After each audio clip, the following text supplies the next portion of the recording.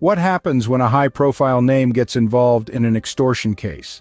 In a recent turn of events, the name of First Lady Liza Araneta Marcos became entangled in a whirlwind of controversy.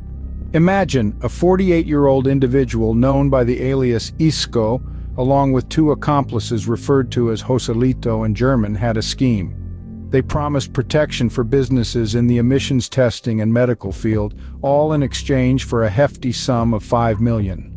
The twist? They used the First Lady's name as an intimidation tactic. However, the Philippine National Police were quick to clarify the situation. They confirmed that the First Lady had no involvement in the operation whatsoever. The result? The suspects were promptly arrested for their deceptive practices.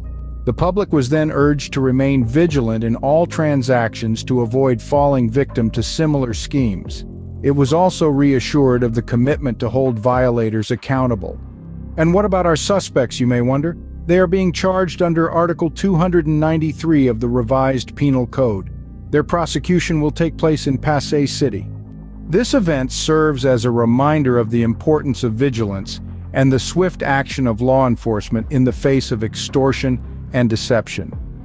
It is a testament to the commitment to hold accountable those who exploit high-profile names for their personal gain. In conclusion, this case is a classic example of an extortion scheme gone wrong. It's a cautionary tale that reminds us all to stay vigilant and report any suspicious activities to the authorities. So...